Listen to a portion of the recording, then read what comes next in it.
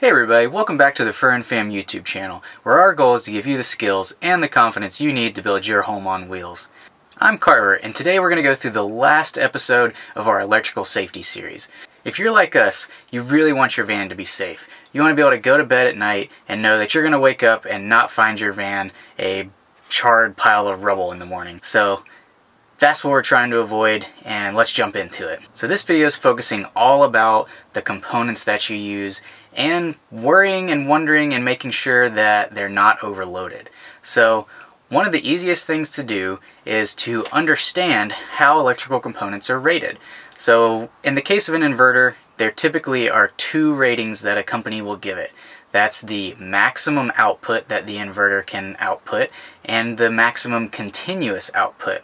So the one that marketing is going to run with and put all over the internet is going to be the maximum. So if you see a 3000 watt inverter, almost 100% of the time, that's going to mean it can handle a spike up to 3000 watts. Now what that doesn't mean is that you can pull 3000 watts from it all day long, every day, 365 days a week, all year long. Um, so what you need to look at is the continuous rating. And the continuous rating will tell you what that inverter can handle day in and day out running all the stuff in your van. And that's what you really need to pay attention to. So like in the case of our inverter, it's rated for a 3000 watt maximum and a 2400 watt continuous. So there's not a, not a huge difference there between the, the two uh, ratings, but it's enough to, to take note of. So we know that if we're going to run our AC unit, we also cannot run our hot water heater at the same time because the two of those, it would overload our inverter, inverter and shut it down. It could potentially create an unsafe situation too if some of the fail-safes in the inverter didn't uh, control what was supposed to be controlled, and it could lead to um, a fire if you're if you're not careful. So that's that's one of the main things to, to keep in mind. The other thing to keep in mind, and we touched about this a little bit in the last video in this series where we talked about fuses and circuit breakers, is that you need to size your fuse and circuit breaker according to what the units are rated for. So even if you miscalculate and you're slightly off in your uh, setup, you could still save yourself if you choose the right fuse. So you need to look at the what the manufacturer of your components recommends for fuse size. And that's that's just as important as making sure that you've specced out the component correctly.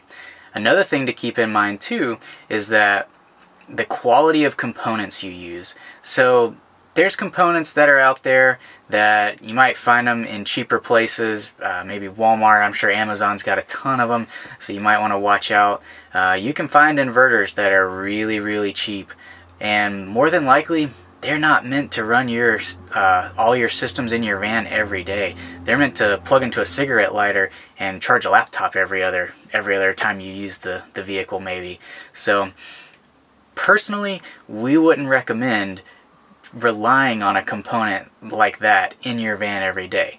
Now I'm sure there's plenty of people that do and you might get away with it and you might be fine but you might run into a situation where that component only lasts a couple weeks because it's not not made to stand up to everyday use or you could run into a situation where two weeks in you start to smell something funny every time you run and you're like mm, I don't know if that's right and it, it could be melting down components could be starting fires uh, could be leaving you high and dry without any electrical power in your van and that's definitely not what you want. You want to be out and enjoying and seeing the world and traveling in your van, not worrying, oh man, is my electrical system gonna gonna get me through the night and keep my heat running, you know? So those are some main things to keep in mind on overloading components, picking out components. So avoid those mistakes, keep your van safe, and this wraps up our four-part electrical series on mistakes that you should avoid in your van.